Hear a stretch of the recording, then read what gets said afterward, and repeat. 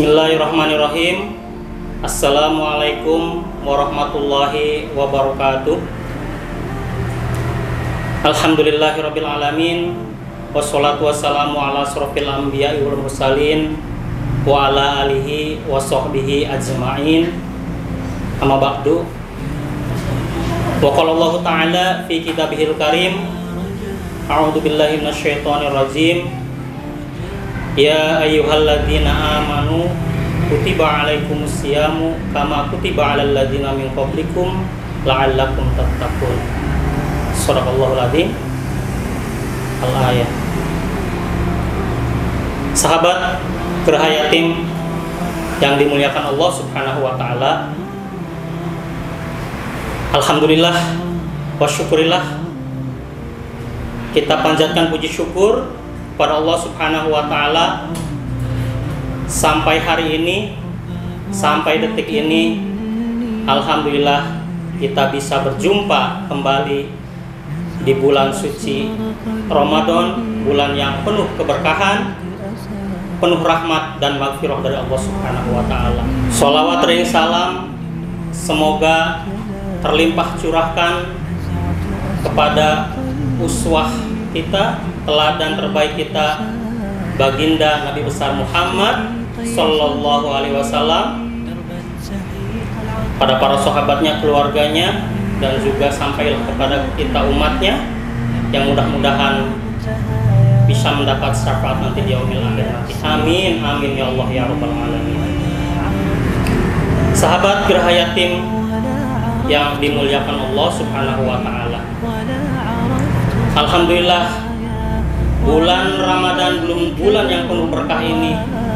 Sudah hadir di tengah-tengah kita. Dan kita pun merasa gembira akan kehadirannya.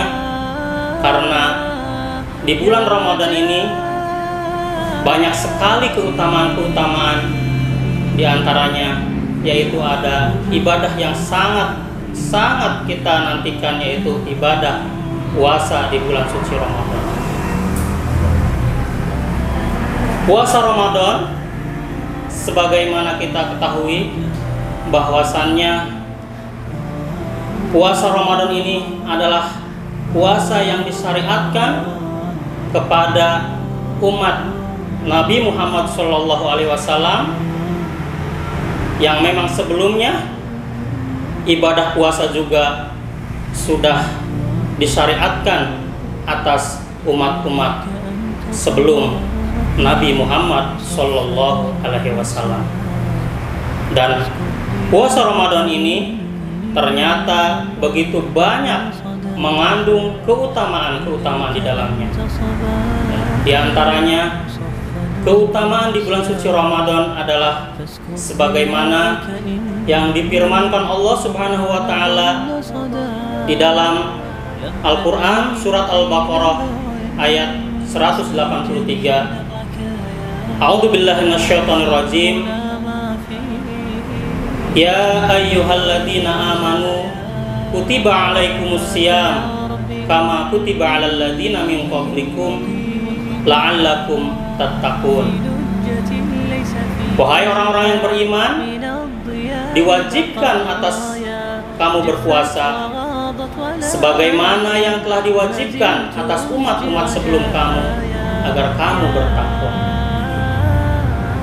Di sini menunjukkan bahwasannya orang yang berpuasa Allah menghendaki kepadanya menjadi pribadi-pribadi yang muttaqin. Agar kita selepas bulan suci Ramadan ini menjadi pribadi yang lebih bertakwa, lebih taat akan perintah Allah Subhanahu wa taala. Sahabat Gerahayatim yang berbahagia, alhamdulillah kita sudah sampai di bulan suci Ramadan, bulan yang penuh keberkahan, rahmat dan ampunan dari Allah Subhanahu wa taala di mana di bulan suci Ramadan ini ada ibadah yang sangat spesial yaitu ibadah saum di bulan suci Ramadan. Di bulan suci Ramadan ini puasa yang kita lakukan setiap tahun ternyata memiliki banyak keutamaan-keutamaan di dalamnya. Di antaranya adalah orang yang melaksanakan puasa Ramadan yang pertama adalah sebagai sarana mendekatkan diri kepada Allah Subhanahu wa taala. Sebagaimana yang Allah firmankan dalam surat Al-Baqarah ayat 183. A'udzu billahi minasyaitonir rajim. Ya ayyuhalladzina amanu kutiba alaikumusiyam kama kutiba alal ladzina min qablikum la'allakum tattaqun. Wahai orang-orang yang beriman, diwajibkan atas kamu berpuasa sebagaimana yang sudah diwajibkan atas umat-umat terdahulu agar kamu bertakwa. Dalam ayat tersebut Allah menegaskan bahwasannya orang yang berpuasa tujuan akhirnya adalah agar mereka menjadi pribadi yang mutakin, pribadi yang senantiasa taat kepada Allah Subhanahu wa taala.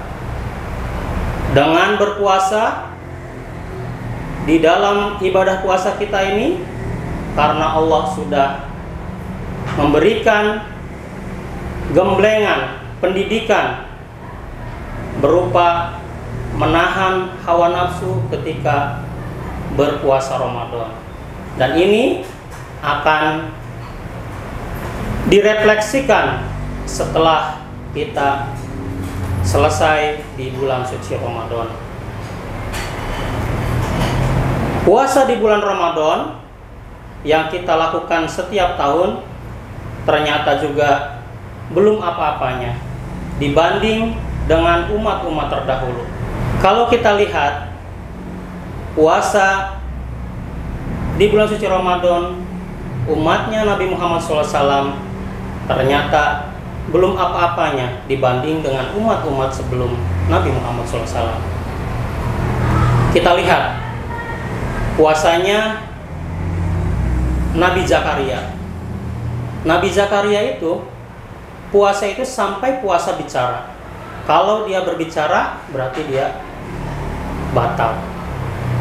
Dan juga syariat berpuasa umat sebelumnya bahwasanya setelah berbuka itu akan berlanjut puasa lagi sampai keesokan harinya.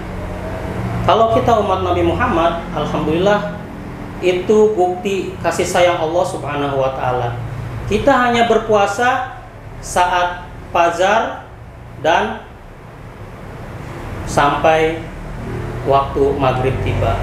Dan di waktu malam kita diperbolehkan untuk makan dan minum dan juga berhubungan suami istri dan itulah e, mengapa Rasulullah juga mensunahkan kepada umatnya sebelum berpuasa ada ibadah sunnah yang kita kenal dengan nama sahur. Itulah uh, keutamaan puasa yaitu mendekatkan diri kepada Allah Subhanahu wa taala. Sahabat Girayatim yang berbahagia, keutamaan berpuasa di bulan Ramadan yang kedua adalah mendapatkan ampunan dari Allah Subhanahu wa taala sebagaimana yang disabdakan oleh baginda Nabi besar Muhammad sallallahu alaihi wasallam Man sauma ramadana imanan wa ihtisaban ghufirallahu ma taqaddama min dambi Barang siapa yang berpuasa di bulan suci Ramadan karena iman dan mengharap ridho dari Allah Subhanahu wa taala niscaya Allah akan ampuni dosa-dosanya yang telah lalu. Masya Allah. Dengan kita berpuasa di bulan suci Ramadan, mudah-mudahan dosa-dosa kita akan mendapat ampunan dari Allah Subhanahu wa taala. Dan yang ketiga, keutamaan berpuasa adalah Allah akan memberikan kegembiraan untuk orang-orang yang berpuasa. Apa aja itu kegembiraannya? Yang pertama adalah kegembiraan ketika mereka berbuka puasa. Ketika akan kita berbuka puasa, tentunya kita akan merasa sangat bergembira akan hadirnya buka puasa itu. Dan itu yang Allah berikan kepada orang-orang yang beriman yang melaksanakan ibadah puasa. Setelah seharian kita menahan lapar dan haus, di waktu maghrib tiba, rasanya saat-saat itu adalah saat-saat yang sangat nikmat, saat-saat yang rasa syukur itu tiada tara dan kenikmatan yang begitu banyak yang dilimpahkan kepada orang-orang yang beriman. Kemudian yang kedua, kegembiraan apa yang dirasakan oleh orang-orang berpuasa? Nah, yang kedua ini Allah akan ditunda. Kenapa ditunda? Karena kegembiraan yang kedua ini Allah akan hadirkan untuk hamba-hambanya yang berpuasa yaitu di hari akhirat kelak mereka akan berjumpa dengan Allah Subhanahu wa taala dengan wajah Allah Subhanahu wa taala. Nah, itu adalah kegembiraan yang Allah berikan kepada orang-orang berpuasa. Di mana ketika kita di surga begitu banyak yang Allah berikan kenikmatan. Akan tetapi kenikmatan yang tertinggi adalah ketika orang-orang beriman bisa berjumpa dengan rohnya. Sahabat Geraha Yatim yang berbahagia. Keutamaan puasa Ramadan yang keempat adalah orang yang berpuasa Allah akan masukkan ke dalam surganya. Di mana puasa ini adalah ibadah puasa ini ibadah yang sangat spesial. Kenapa spesial?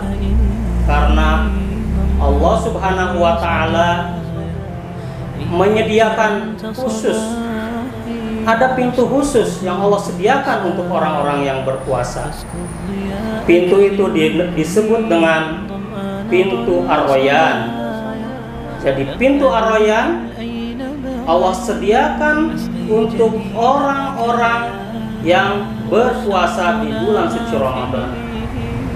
Di mana di akhirat kelak pintu itu akan memanggil wahai hamba-hamba Allah siapakah yang berpuasa kemudian orang-orang yang ahli dalam berpuasa mereka akan berdiri dan memasuki pintu surga itu sampai pintu surga itu tidak dimasuki lagi orang oleh orang-orang yang ahli dalam berpuasa.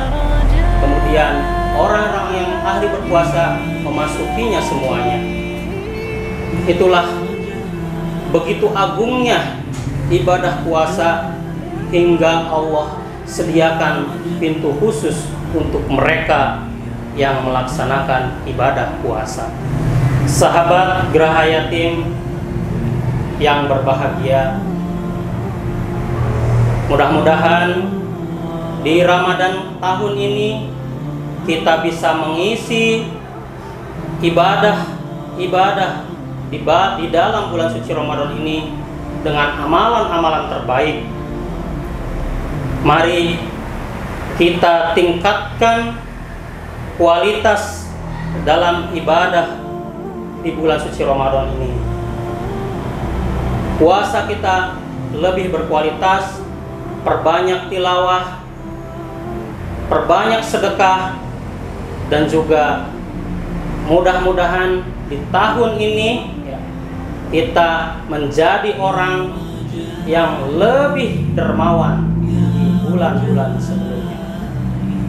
Mudah-mudahan Ramadan kali ini ibadah Ramadan kita kali ini bisa meningkatkan derajat ketakwaan kita kepada Allah Subhanahu wa taala. Dan pada akhirnya akan merefleksikan akhlak dan kepribadian kita di 11 bulan yang akan datang. Sekian dari saya.